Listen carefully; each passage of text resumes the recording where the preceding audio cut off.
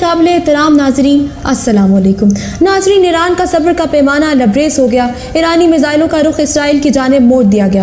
ایرانی army chief نے اسرائیل کو حملے کا ذمہ دار ٹھہراتے ہوئے اسرائیل کو تاریخی سبق سکھانے کا اعلان کر دیا۔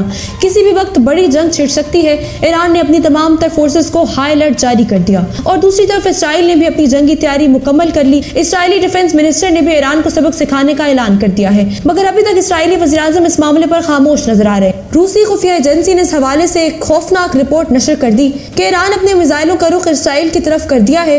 ایران مکمل جنگ کے لیے تیار ہے۔ اسرائیل جتنی بھی کوشش کر لے، مگر اب ایران جنگ لڑنے سے پیچھے نہیں ہٹے گا۔ ایران کے ساتھ چھیڑ چھاڑ کرنا اب اسرائیل کو بہت مہنگا پڑنے والا ہے، کیونکہ ایرانی آرمی چیف اور صدر نے بھی اسرائیل کے خلاف جنگ کا اعلان کرتے ہوئے اپنی فوج کو ہائی الرٹ جاری کر دیا ہے۔ صرف اسرائیلی ڈیفنس منسٹر ابھی تک اس معاملے میں ایران کو دھمکیاں دے رہے ہیں، باقی تمام تر اسرائیلی فوج اور خفیہ ادارے چپ نظر آ رہے ہیں۔ حالانکہ اسرائیلی وزیراعظم جو بات بات پر مسلم ممالک کو جنگ کی دھمکیاں دیتے تھے، ان کی جانب سے بھی ابھی تک اس معاملے پر خاموشی اختیار کی جا رہی ہے۔ کیونکہ انہیں معلوم ہے کہ انہیں صرف ایران کے خلاف جنگ نہیں لڑنی، بلکہ عرب ممالک کے علاوہ پاکستان اور ترکی بھی اسرائیل پر حملہ کر سکتے ہیں۔ اور ان حملوں میں اسرائیل کا بچنا تقریباً ناممکن ہے۔ دوستوں، کیا اسرائیل ایران کو جواب دے گا؟ اس حوالے سے ہمیں اپنی قیمتی رائے کا اظہار کامنٹ سیکشن میں ضرور کیجیے گا۔ امید کرتی ہوں آپ کو آج کی ویڈیو بہت پسند آئی ہوگی۔ ویڈیو پسند آنے کی صورت میں لائک اور شیئر ضرور کیجیے گا اور ہم ہمارے چینل کو سبسکرائب بھی کیجیے گا، اپنا اور اپنے اپنوں کا بہت خیال رکھیے گا۔